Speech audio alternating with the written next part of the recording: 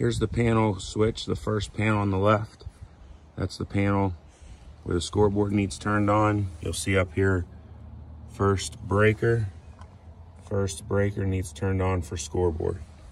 Key gets plugged into here. Just turn that on. You do not have to open or do anything with the Musco control panel. All right, hopefully that helps.